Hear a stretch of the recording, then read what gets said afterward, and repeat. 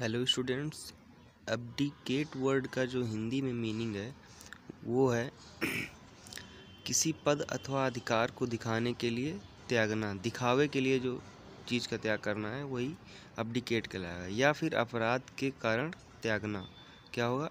अब्डिकेट अब्डिकेट धन्यवाद।